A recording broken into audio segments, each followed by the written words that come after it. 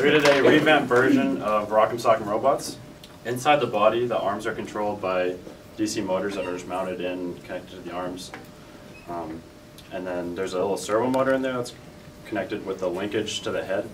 So when all these lights run down, the head pops up. So they just fight, and there's a little magnetic sensor here, magnets mounted on the fist.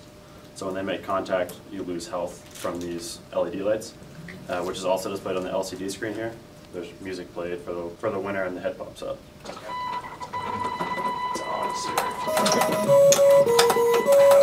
Music starting.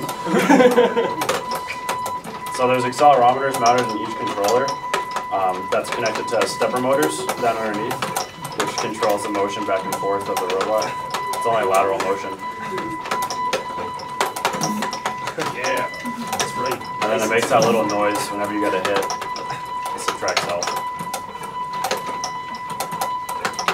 Every time there's a hit, there's a random number between 1 and 4 that's generated, and that's how much health you lose to add some uh, randomness and fun in the game. Yeah, right.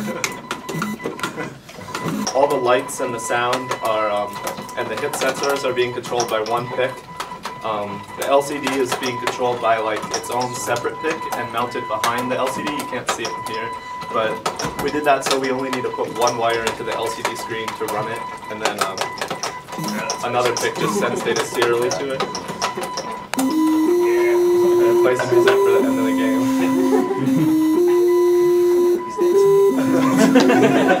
and you see the head popped up, and then there's a reset button that'll pull the head back down, and then play the start music again, and then a new game will start.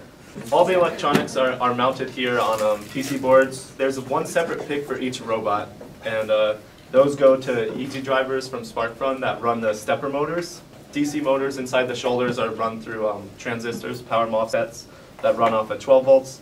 Uh, and then there's a main PIC that controls the LED driver. You just tell it serially which lights to turn off. That way we only need like two outputs from the PIC to control all the LEDs. It's powered by a computer power supply, and that gives us as much 5, 5 and 12 volts that we need. Oh, and then there's a, a wireless receiver too.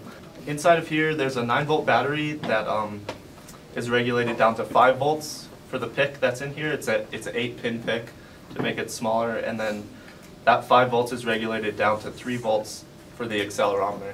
Um, the accelerometer output is analog, and the PIC converts that to a dig digital signal, which is sent over wireless. Oh, well. Kicking him while he's down, huh? All right.